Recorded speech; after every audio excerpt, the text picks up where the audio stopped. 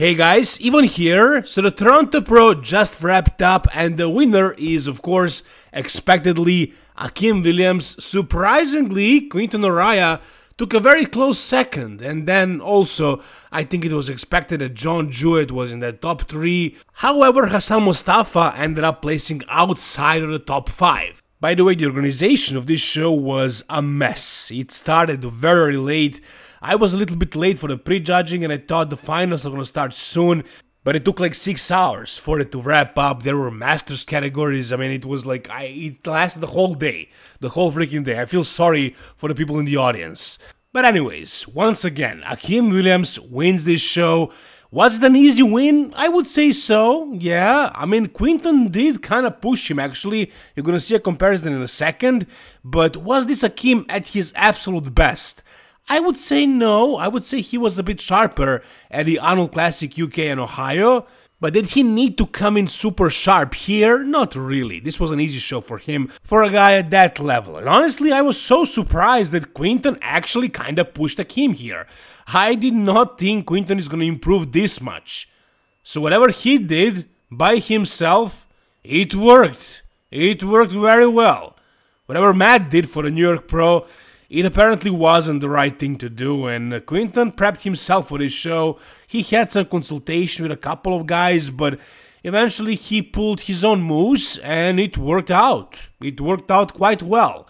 He was actually more condi- not really more conditioned, but fuller, and so he seemed kind of harder in some in some areas. So definitely much bigger version of himself, definitely fuller uh, which made him appear bigger, big enough, let's say. Back seemed significantly improved. Finally, we saw the results of his hard work in the off-season. Hassan, as you can see, the biggest guy in the show, but his conditioning is not even good for the off-season, really. I mean, Derek Lunsford was more conditioned at the guest posing at Pittsburgh Pro. Literally, without exaggerating. Check out Hassan's glutes. Like, he needs to start another prep, and prep for another 12 weeks. I mean, I guess I'm exaggerating, but really, I mean, he's going to continue competing. He plans on doing Vancouver Pro and so on. Uh, does that make sense? I mean, I don't know. He was out of top five in this show. He needs to be a lot, a lot sharper. I mean, check out Tim Budesheim on the far right here. Tim was actually fifth at this show, so if Hassan wants to win a show, he needs to get those glutes. Maybe not at the level of Tim Budesheim, but definitely much, much sharper. This is unacceptable. This is not good even for a guest posing. Here is one horrible shot of John Jewett, his front lat spread. His midsection is looking horrible in that one. That's one of his biggest flaws, John Jewett's. His structure is not exactly the prettiest, for sure. But he does what he can. He comes in in good condition with enough muscle and, you know, top 3 at this show is a great achievement. By the way, sorry guys if you hear it in my voice, I have a little bit of a cold, but it's getting better. Anyways, here is where Quinton basically pushed Akim the most. And Quinton was also known for a weak back before, but he definitely improved it, especially the back lat spread. Check it out. And he was talking about how he improved it. He didn't display it, however, at the New York Pro, but now that he got fuller, he definitely did display it. Now, Quinton's flaw, another flaw would be like the thickness from the side, which I don't think it was much of an issue here next to Akim, who is a mass monster, by the way because Quinton with 10 more pounds, I mean, he had 10 more pounds since the New York Pro, is a thick bodybuilder. It's actually a pretty big bodybuilder. So I think he's going to the Mr. Olympia this year. I think he's going to win the next show he does, which is Vancouver Pro, because he he actually nailed the peak week here, and you can see the improvements he made in the off season. I mean, with his height and with his frame this filled out, I mean, yeah, Akim beat him, sure, but Akim is like a top tier bodybuilder. This guy can be a top six in the Mr. Olympia. I mean, he was six at one point. Uh, John Jewett, crazy freaking biceps, crazy, insane biceps, but you know the structure not the most pleasant one. Here you can see like the midsection not looking very nice. But I guess that's because he got bigger, a lot bigger, since the Legion Sports Fest last year where he took second to uh, Charles Griffin. I think he's 10 pounds bigger here than that show. Look at Akim here in this side chest. Wow, wow. Like that's what sets Akim apart from all these guys. Like those side shots especially are showing like crazy definition, crazy details, and crazy thickness. Back poses, however, probably the weakest in the top five. or even even further, like probably the weakest in the top, I don't know, 7, 8. It depends. It depends if Hassan is in the top 7 or 8 because with his glutes it doesn't matter how big his back is. But yeah, Kim's back bad, bad, really bad. Probably even worse than the last time we saw him on stage, but it's because of conditioning. When he's lean, his back looks uh, somewhat decent. When he is not in condition, it just doesn't look very good.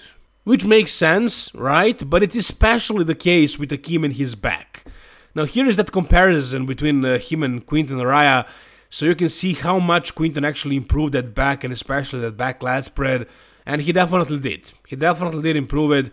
Glutes here were, if you ask me, just as lean as they were at the New York Pro. I mean, so his conditioning overall was better, I would say, because he was fuller, he was harder.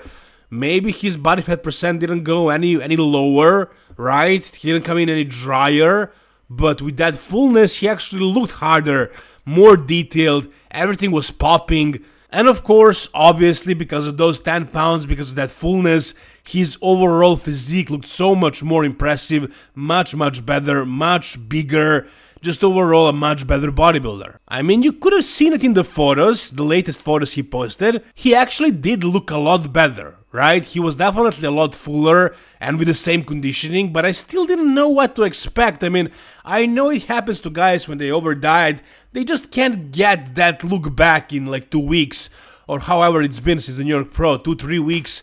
But uh, he got it back. He definitely got it back. I mean, he didn't lose the conditioning. He came in very much dry and hard and much bigger, much fuller. It's almost like New York never happened. It's almost like he never lost any tissue for the New York Pro. It was all a peaking mistake, apparently. This right here is what we were supposed to see at the New York Pro. If he looked like this at the New York Pro, where would he place? Would he be in that top 3? Would he be battling against Beef Stew? Somewhere there, I would say. Yeah, yeah, with his beautiful shape and structure and this height and all this size. Look at the freaking waist. Look at the freaking X frame here. Wow, this is really phenomenal, honestly. I think it is pretty safe to say that he's going to the Mr. Olympia by winning the next show, which is Vancouver Pro. But in order to be at the level of competition where, for example, Akim is, you know, to be like in that top 3 at the Arnold Classic with Samson Dauda and Hadi Choopan to be like a top 6 guy at the Mr. Olympia, he still needs more work. He needs to fill out the physique a little bit more and come in even harder. Here you can see basically the biggest difference. So the side chest pose even John Jewett looks a lot better than, than Quinton here, if you ask me, because he has that thickness. He has that hamstring drop. He has the thickness in the legs, in the shoulders, in the chest, in the arms. So Quinton still needs to fill out that physique a little bit more and then also not just come in decently lean and full, but also come in big and hard and like separated. Look at Akim, man. Akim looks like an absolute monster, but yeah, this is probably Akim's best shot. Without probably, actually. This is Akim's best shot, and it's not fair to compare uh, Quinton to, to this pose of Akim Williams, because this pose of Akim Williams, you can put it next to Derek or Hadi or Samson. You can even argue that he can beat these guys with this pose. So he's that good in the side chest. So Quinton has no chance against Akim in this one but you can still compare him to John Jewett and see that he lacks that thickness, still needs that hardness, that muscle maturity, which will come with years, with age. He's very young, he's like 28, I believe, right now, so it's gonna take a couple of years to reach that. But since we were so disappointed at uh, Quinton uh, for the New York Pro, this was a really pleasant surprise. He placed top two at this show. He was pushing Akim Williams, not really pushing him. Akim won, I think, fair and square, but you know, in the back poses, he was probably beating him, and he came in so much improved, which is a great comeback story, honestly. And I'm telling you guys, he's winning the next show. Vancouver Pro is his. He is qualifying for the Mr. Olympia at that show. Now, again, Hassan Mustafa, he didn't place in the top five. Where in the top 10 did he place? I have no idea, but yeah, he's in the top 10. Uh, I would give him 10th because this conditioning is just embarrassing. I mean, in his uh, updates for this show, he was saying that he's holding a lot of water, that once uh, he dehydrates, you're gonna see the results of the prep. No, no, no, and no. He needs to diet off all this fat. It's not just water. He needs like an entire new prep. I mean, I don't know where he's at in terms of eating uh, and, and and doing cardio. Like maybe he's very low on calories and very high on cardio. I doubt it, honestly, but maybe it's the case. So he can't keep on pushing. Maybe he needs to, you know, increase his metabolism, bring up the food, and then do another prep. But can he qualify for the Mr. Olympia in the upcoming weeks? No, no, I don't think so. When guys like uh, Robin Strand are beating him, you know, and who knows who else, I mean, to win a pro show, no, it's not gonna happen, not with this kind of conditioning. If he improves it by like 20 30%, I still don't know. I think he needs to improve it like 50%. I think this is like eight weeks out. Best case scenario. I mean, some of the guys that are competing in this show are in better conditioning in their off season, deep into their off season. John Joyce, for example, his glutes never get like this or hamstrings. Never. Never. Even when he's pushing the foot in the off season. So, like, this is not good. This is not good. I mean, maybe Hassan, with all his muscle, he can still win some pro show if he's, you know, decently conditioned, but this is not decent. This is just.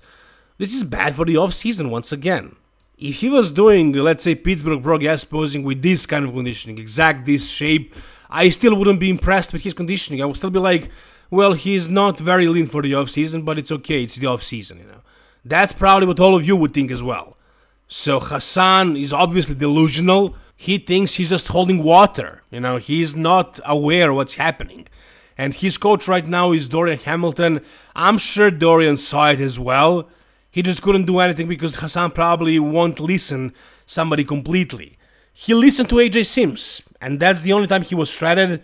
He should go back to AJ Sims and do whatever he was doing before if he's willing to suffer and really get in shape because that's the only time he was in shape. This this is not. This is embarrassing.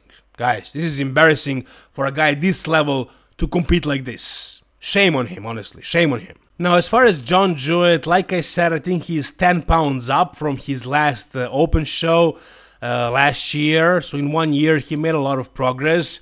But as far as his conditioning, honestly, I was kind of a little bit disappointed. I thought he was going to be drier based on his uh, photos on IG. So, he didn't have that crazy mm, uh, graininess that he has in the photos or like the details, the separation.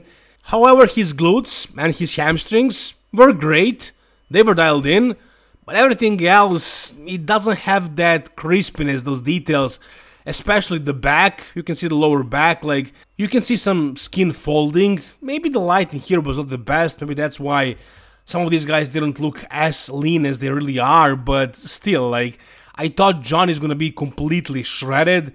He wasn't, and he needs to do something with this pose. He knows how to pull in a vacuum in the front double, and he just sticks the stomach out in the in the lat spread and he flexes the chest, which I think might be a mistake. If you just relax his chest, yeah, he has great details in the chest, but I mean show it in the most muscular, not in the front lat. Here, I would like him to. I would like to see him pull a vacuum and relax the chest, make for a better V taper, and just look more aesthetic. And I would like to see a little bit more details everywhere, so I think he needs to improve his conditioning a little bit more for the next show he does. Here he does a little bit better, right? So he pulled the stomach a little bit in, the chest is not that flexed. So once again, a great gain. You know, he's definitely, now he's definitely an open bodybuilder. He's done with 212, third place in this show, amazing result. Anyways guys, that's gonna do it for this video. If you guys enjoyed this video, give it a thumbs up. Tell me what you think about the results. Tell me what you think about Quinton's comeback. Tell me what you think about Hassan failing so badly with conditioning. Whatever is on your mind, guys, tell me down below in the comment section. Like this video if you enjoyed it. And for more videos like this about bodybuilding, guys, stay tuned, subscribe to this channel. Thank you so much for watching. See you soon once again. All the best and bye-bye.